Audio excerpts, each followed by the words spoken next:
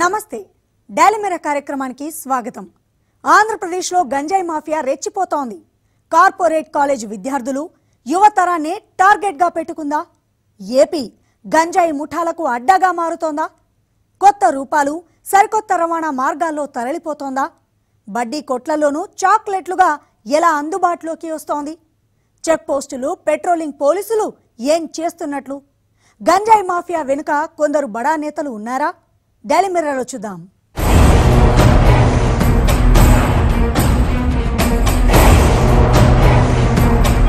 ఐదు లక్షల రూపాయల ఖర్చు.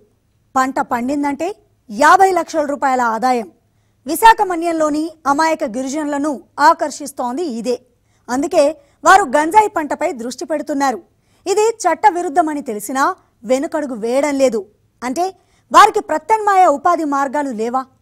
ప్రభుత్వం వారిలో చైతన్యం తీసుకురాలేకపోతోందా? దాదాపు ఇరవై ఐదు వేల కోట్ల రూపాయల పంట పండుతున్నా ఎందుకు అరికట్టలేకపోతోంది? అసలు గంజాయి మాఫియా ఏపీలో ఎలా పెరుగుతోంది?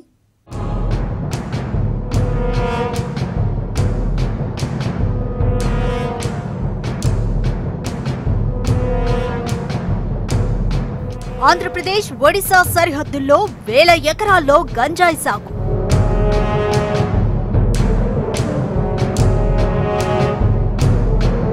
అంతర్జాతీయ మార్కెట్లో ఇరవై ఐదు వేల కోట్ల విలువైన పంట సాగు.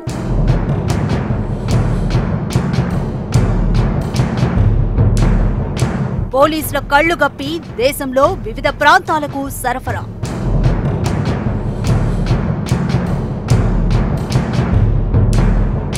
లిక్విడ్ రూపంలోకి మార్చి మరీ సరఫరా చేస్తున్న మాఫియా.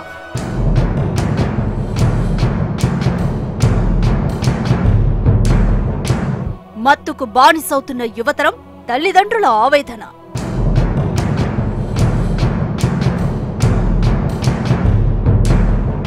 కోట్ల మాఫియా దంతాను పోలీసులు ఎందుకు పట్టుకోలేకపోతున్నారు?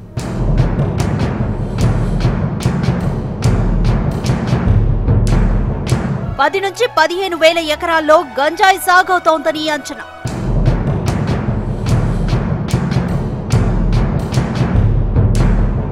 ఐదు లక్షల ఖర్చుకు యాభై లక్షల లాభం. ఈ సూత్రమే నడిపిస్తోందా?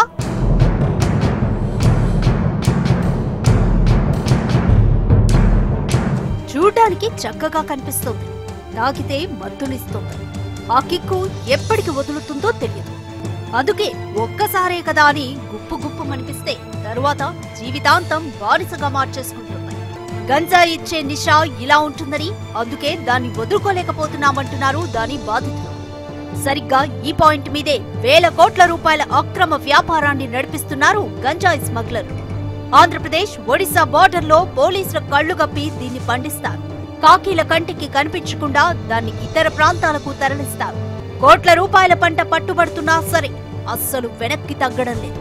అందుకే ఏపీ దీనికి అడ్డాగా మారుతోందా అన్న ఆరోపణలు వినిపిస్తున్నాయి.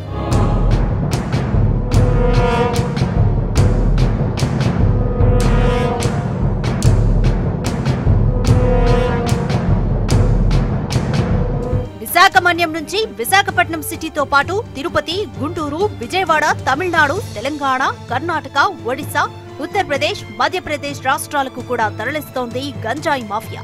ఎవరికి అనుమానం రాకుండా వివిధ మార్గాల్లో వివిధ రూపాల్లో దీన్ని టార్గెట్ ప్లేస్లకు చేరుస్తోంది. ఏపీ ఒడిశా సరిహద్దుల్లో దాదాపు పదివేల ఎకరాల్లో గంజాయి పంట సాగవుతోందని అంచనా. కాకపోతే అనధికారికంగా చూస్తే పదిహేను వేల ఎకరాలుండొచ్చని మరో అంచనా ఉంది. ఆంధ్ర ఒడిశా భౌగోళిక వాతావరణ పరిస్థితులు గంజాయి సాగుకు అనుకూలంగా ఉంటాయి. దాంతో ఇక్కడ గంజాయి సాగు విస్తృతంగా సాగుతోంది. వరి పసుపు అపరాలు అంటే కందులు శనగలు మినుములు పెసలు వంటి పంటలు సాగు చేస్తూనే వాటితో పాటు గంజాయి మొక్కలను కూడా ఇక్కడ పెంచుతుంటారు.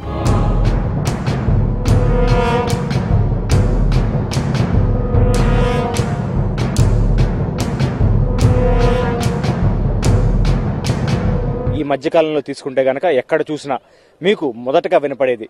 వైజాగ్ నుంచి ఏం సరఫరా అవుతుందంటే గంజాయి గంజాయి గంజాయి. మనకి ఎట్టి పరిస్థితుల్లో ఆంధ్ర ఒరిస్సా బార్డర్లో జరిగే ఈ గంజాయి స్మగ్లింగ్ వెంటనే ఎందుకంటే డిసెంబర్ నవంబర్ తర్వాత కోత అయిపోతుంది. ఇప్పుడు చెప్తున్నాను కోత అయిపోతుంది. తర్వాత ఆ స్మగ్లింగ్ అనేది ఎంత దారుణంగా ఎంత భయంకరమైన స్థాయిలో జరుగుతుందో మీరు అర్థం చేసుకోండి. ఎందుకంటే దాని ద్వారా ఈరోజు మనకి కేసులు పెరుగుతున్నాయి. మనకి ఎందుకంటే కోవిడ్ కేసులు కాదండి ఇవి. ఆడవాళ్ళ మీద అగత్యాల కేసులు. వైజాగ్ తీసుకుంటే గనక మనకి మన రాష్ట్రం మొత్తంలో మొదటి స్థానంలో ఉంది మహిళలపై జరిగే అగత్య దాడుల కేసుల్లో. కాబట్టి ఈ మద్యం మత్తులో ఉన్న వాళ్ళు ఏం చేస్తారో ఎంతగా తెగిస్తారో తెలియదు. అవి మద్యం మత్తులో మద్యాలు దొరకనప్పుడు వాళ్ళు ఎలాంటి అగత్యాలకు పాల్పడతారో తెలియదు కాబట్టి ఇవన్నీ ఆపాలంటే గనక పోలీసులు బలంగా దీని మీద చర్యలు తీసుకోవాలి. రాష్ట్ర ప్రభుత్వాలు పోలీసులకి పూర్తిగా సహకరించాలి.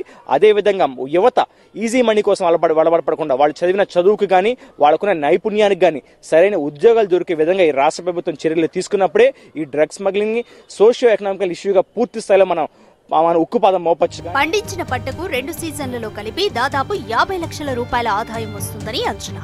పంట సాగు కోసం సుమారుగా ఐదు లక్షల రూపాయలు ఖర్చవుతాయని లాభాలు భారీగా ఉండడంతోనే దీనివైపు మొగ్గు చూపుతున్నామని అక్కడి సాగుదారులు చెబుతారు. కానీ గంజాయి పంటను పండించడం చట్టవిరుద్ధమని తెలిసినా ప్రత్యామ్నాయం లేదని వేరే ఉపాధి మార్గం చూపిస్తే వదిలేస్తామని చెప్పినా అక్కడ పరిస్థితి కనిపించదు.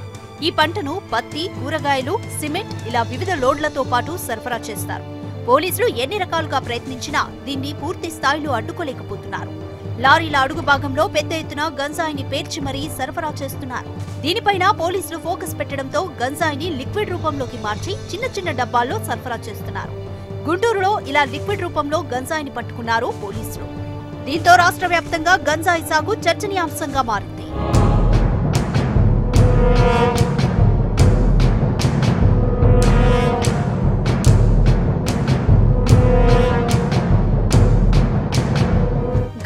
అక్కడక్కడ వందల ఎకరాల్లో గంజాయి తోటలుంటే ఇప్పుడు ఏకంగా వేల ఎకరాల్లో సాగుతున్నాయి విశాఖ జిల్లాలో పోలీసులు సీజ్ చేసిన వాహనాలే చెబుతాయి. అక్కడ గంజాయి దందా ఏ స్థాయిలో నడుస్తోందో.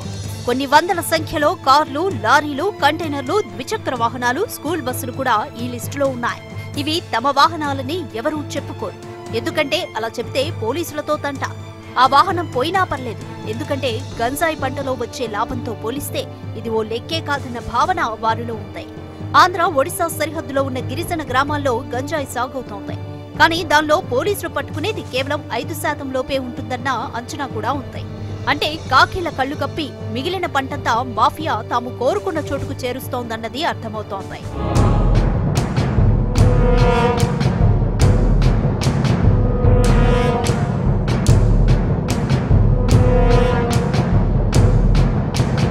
ఆంధ్ర ఒరిస్సా బోర్డర్లో జరుగుతున్న మాదక ద్రవ్యాల్ని లేదంటే మీకు కనుక ఇప్పుడున్న టెక్నాలజీ తీసుకుంటే గనక మీకు ఎంతో సమయం పట్టదు. నిజంగా పోలీసులకి మీరు గనక వాళ్ళకి ఫ్రీ హ్యాండ్ ఇచ్చి మీరు చిత్తశుద్ధితో పనిచేయండి అని చెప్పి పోలీసులు కనుక ఫ్రీ హ్యాండ్ ఇస్తే ఇరవై నాలుగు గంటలు నలభై ఎనిమిది గంటల్లో వాళ్ళు పూర్తిగా ఎక్కడైతే గంజాయి సాగు దొరుకుతుందో వాటన్నింటిని ఏరివేసే ప్రక్రియలో వాళ్ళు ఉంటారు. గంజాయి స్మగ్లింగ్ కానీ గంజాయి సాగు కానీ దీన్ని మనం ఒక సోషో ఎకనామికల్ ఇష్యూగా తీసుకోవాలి.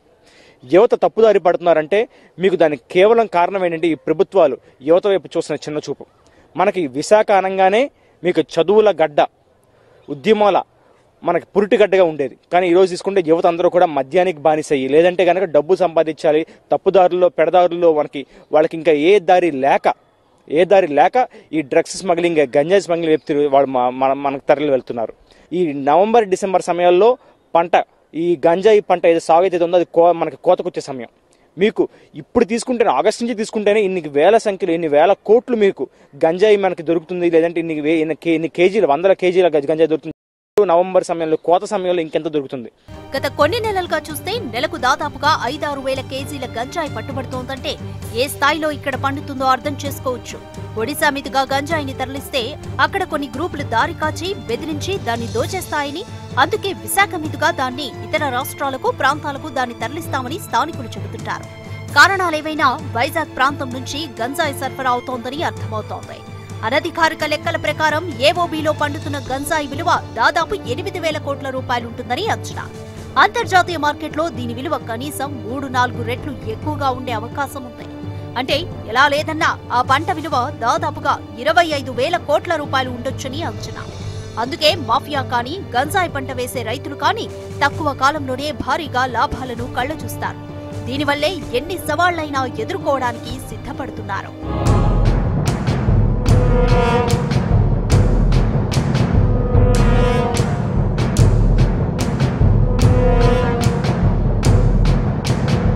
నాలుగు వేల సంవత్సరాల క్రితమే మన దేశానికి వచ్చిన గంజాయి ఇన్ని వేల కోట్ల రూపాయల పంటగా ఎలా మారింది? దీనికి కారకులు ఎవరు? కారణాలు ఏమిటి గంజాయిని తీసుకున్న అరగంట లోపే మత్తెక్కుతుంది. అది కూడా ఇతర డ్రగ్స్తో పోలిస్తే చౌకగా దొరుకుతుంది. అందుకే యువతరంలో ఎక్కువ మంది దీనికి బానిసలుగా మారుతున్నారు. కానీ దాని వాడకం వల్ల వచ్చే ఆరోగ్య సమస్యలను పట్టించుకోవడం లేదు. ఇది వారి భవిష్యత్తుపై తీవ్రమైన ప్రభావం చూపిస్తుందని అంచనా వేయలేకపోతున్నారు. ఈ పరిస్థితి మారాలంటే ఏం చేయాలి? పోలీసులు ప్రభుత్వం ఎలాంటి చర్యలను తీసుకోవాలి?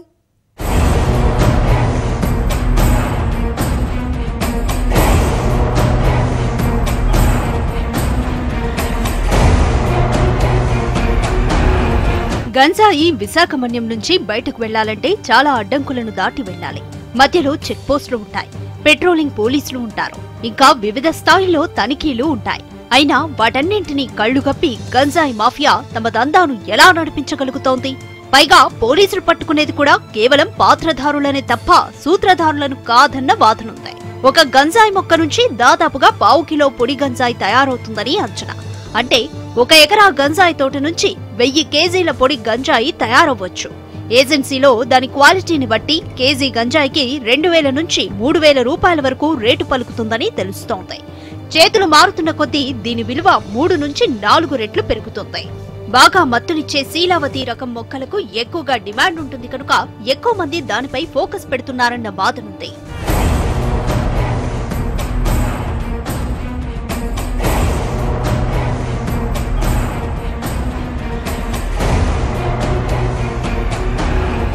సంప్రదాయాలకు విద్యాబుద్ధులకు నిలయమైన ఆంధ్రప్రదేశ్లో యువతరంపై గంజాయి పంజా విసురుతోంది. బానిసలుగా మారుతుండటంతో వాళ్ళ తల్లిదండ్రుల ఆవేదనకు అంతే లేకుండా పోతోంది. దేశంలో కొన్ని ప్రాంతాల్లో బడ్డీ కొట్లలో చాక్లెట్లలా కూడా గంజాయి దొరుకుతోందన్న ఆరోపణలున్నాయి. అంటే విద్యార్థులపై ఇది ఎలాంటి ప్రభావం చూపిస్తుందో అర్థం చేసుకోవచ్చు. ఒకవేళ దీనికి వారు బానిసలైతే ఇక శారీరకంగా మానసికంగా తీవ్రమైన దుష్పరిణామాలు తప్పవన్న వైద్యుల హెచ్చరికలు కూడా ఎవరికీ పట్టవా?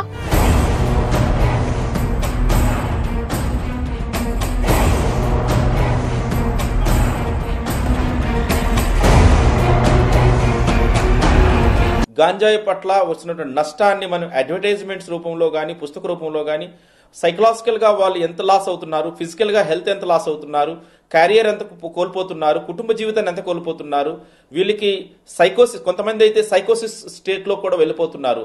అంటే వారిలో వారు మాట్లాడుకుంటుంటారు తనలో తను భాషిస్తూ ఉంటారు తనకు మించి అంటే తలకు మించినటువంటి మాటలు మాట్లాడుతుంటారు. తాను చాలా గొప్పవాడుగా ఫీల్ అయిపోతూ ఉంటారు. ఈ మల్టిపుల్ డ్రగ్ సేవించడం అనేది చాలా వరకు డేంజర్ అండి. అంటే ఈ గాంజాయితో పాటు చాలా వరకు ఈ వీకెండ్ కల్చర్లో పబ్స్లో ఏం చేస్తున్నారంటే విదేశాల నుంచి వస్తున్నటువంటి అనేకమైనటువంటి ఈ మత్తు పదార్థాలని గాంజా రూపంలోనే ఇస్తున్నారు. కొంతమంది అయితే ఈ మధ్య అయితే వైట్నర్ని సేవిస్తున్నారు పెయింటింగ్స్ని సేవిస్తున్నారు. ఆల్కహాల్ అంటే వారికి ఏంటంటే వారి బాడీ స్టామినా కంటే వారి వయసు కంటే వారు భరించాల్సినటువంటి మోతాది కంటే ఎక్కువ తీసుకోవడం వల్ల వాళ్ళు చాలా క్రూరత్వంగా ప్రవర్తిస్తున్నారు. గంజాయి చరిత్ర కూడా ఏమీ చిన్నది కాదు. దాదాపు నాలుగు వేల ఏళ్ళ క్రితం నుంచే ఉందన్న వాదనుంది. కానీ దీన్ని అప్పట్లో మత్తు పదార్థంగా కాకుండా నార కోసం ఎక్కువగా వాడేవారని తెలుస్తోంది. నాటు వైద్యంలోనూ వాడేవాళ్ళు పొగ పీల్చడం గంజాయి ఆకును నూరి బంగుగా తయారు చేసి వాడేవాళ్ళు ఉంటారు. కానీ దీనిపై నిషేధం ఉండడం వల్ల ఈ పంటను సాగు చేయడం కానీ దాన్ని వినియోగించడం అమ్మకాలు కొనుగోళ్ళు ఇలా అన్నీ నిషేధమే. గంజాయి మధ్య ఆసియాలోని స్టెప్పీస్ ప్రాంతంలో పుట్టింది. క్రీస్తు పూర్వం దాదాపు రెండు వేల కాలంలో వలసల ద్వారా మన దేశానికి వచ్చిందంటున్నారు చరిత్రకారులు. అప్పట్లోనే గంజా వైద్యులుండేవారు. వాళ్ళని పోద్దార్ పరగ్దార్ పేరుతో పిలిచేవారు. National drug dependent treatment centre రెండు వేల పంతొమ్మిదిలో ఓ రిపోర్ట్ ఇచ్చింది. దాని ప్రకారం మన దేశంలో దాదాపు డెబ్బై రెండు లక్షల మంది ప్రజలు గంజాయికి బానిసలయ్యారని ఓ అంచనా.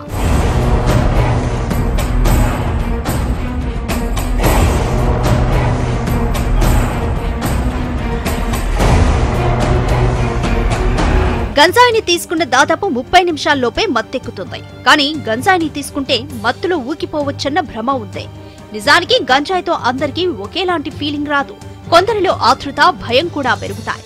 ఇవి ఎక్కువైతే క్లినికల్ డిప్రెషన్ పెరిగే ప్రమాదం ఉంది ఒకవేళ అప్పటికే వారు మానసిక సమస్యలతో బాధపడుతుంటే ఇబ్బందులు కూడా ఇంకా పెరుగుతాయి. దీన్ని తీసుకునే మోతాదు మించుతున్న కొద్దీ నష్టాలు పెరుగుతుంటాయి. మెదడులోని కొన్ని భాగాల్లో చురుకుదనము తగ్గుతుంది జ్ఞాపక శక్తి కోసం పనిచేసే కనెక్షన్లు కూడా తగ్గిపోతాయి. కొంతమందిలో ఐక్యూ కూడా తగ్గొచ్చు.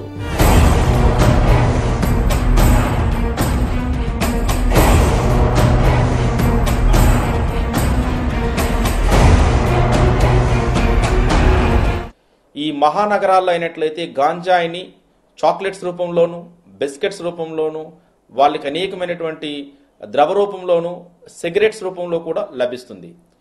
ప్రారంభ దశలోనే వీరి తాలూకా కోపము అతిగా ఉందా? అసందర్భంగా ఏమైనా మాట్లాడుతున్నాడా? వేదాంతం మాట్లాడుతున్నాడా? ఇతను వయసుకి మించి ఏమైనా మాట్లాడుతున్నాడా? వీళ్ళు చాలా వరకు హైజీనిక్గా ఉండరండి. గంజాయి తీసుకునే వాళ్ళు శుభ్రత పట్ల లేదంటే ఒక క్రమశిక్షణ పట్ల ఆసక్తి చూపించరు. వీరికి కెరియర్ పట్ల చాలా వరకు నిస్సత్తువుగా ఉంటారు. వీరి తల్లిదండ్రులు అత్యుత్తమైనటువంటి డాక్టర్లు అయ్యుండొచ్చు ఇంజనీర్లు అయ్యుండొచ్చు లేదంటే రాజకీయ నాయకుల పిల్లలు అయ్యుండొచ్చు. ఉండొచ్చు అతి గొప్పమైనటువంటి మార్గాల్లో ఉన్న పిల్లలు అయినప్పటికీ కూడా వీరు మాత్రం వాటికి విరుద్ధంగా ప్రవర్తిస్తూ ఉంటారు. తల్లిదండ్రులపై చేయి చేసుకుంటారు. తల్లిదండ్రులపై అబ్యూజింగ్ లాంగ్వేజ్ని యూజ్ చేస్తారు. యాంటీ సోషల్ ఎలిమెంట్గా తయారవడానికి అవకాశం ఉంటుంది. ఈ మధ్య అయినట్లయితే చాలా వరకు హత్యల్లో కూడా వీరి యొక్క పాత్ర చాలా ఎక్కువగా ఉంటుంది. గంజాయి రవాణాకు ఇప్పుడు స్మగ్లర్లు టెక్నాలజీని వాడుతున్నారు. మధ్యప్రదేశ్లోని ఇద్దరు వ్యక్తులు అమెజాన్ వెబ్సైట్ ద్వారా విశాఖ నుంచి ఇరవై కేజీల గంజాయిని తెప్పించుకున్నట్లు పోలీసులు గుర్తించారు. స్వీట్నర్ అయిన స్టివియా ఆకుల పేరుతో ఈ సరఫరా జరిగింది. దీంతో పోలీసులు దీనిపై ఫోకస్ పెట్టారు. అయినా సరే ఈ దంతాను అరికట్టలేకపోతున్నారు. ఒక్క మధ్యప్రదేశ్ అని కాదు దేశంలో చాలా ప్రాంతాలకు ఎగుమతవుతోంది.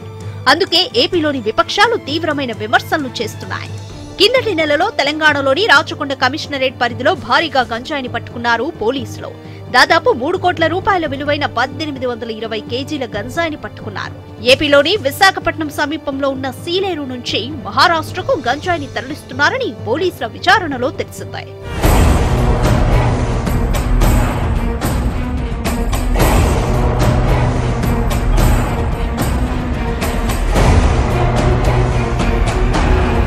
ఉభయ తెలుగు రాష్ట్రాల్లో నల్లమల్ల అటవీ ప్రాంతం ఉంది. లోతట్టు నల్లమలలో కొంతమంది సాగు చేసిన గంజాయిని వేరే ప్రాంతాలకు రవాణా చేసి అమ్మకాలు చేస్తున్నారన్న సమాచారంతో పోలీసులు దాడులు చేశారు.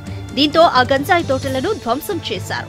గంజాయి దందాను నిర్మూలించడానికి ఆపరేషన్ పరివర్తన్ పేరుతో ప్రత్యేకమైన చర్యలను తీసుకుంటున్నామని ఏపీ ప్రభుత్వం చెబుతోంది. నెల రోజుల్లోనే ఐదు వేలకు పైగా ఎకరాల్లో గంజాయి తోటలను ధ్వంసం చేశామని చెబుతోంది. కానీ ఇది ఒకసారు రెండుసార్లు తీసుకోవాల్సిన చర్యలు కాదు. నిరంతరం జరగాల్సిన ప్రక్రియ. అది సక్రమంగా జరిగితే ఈ గంజాయి దందానే ఉండదు. గంజాయి మాఫియా అడ్రస్ కూడా ఉండదు.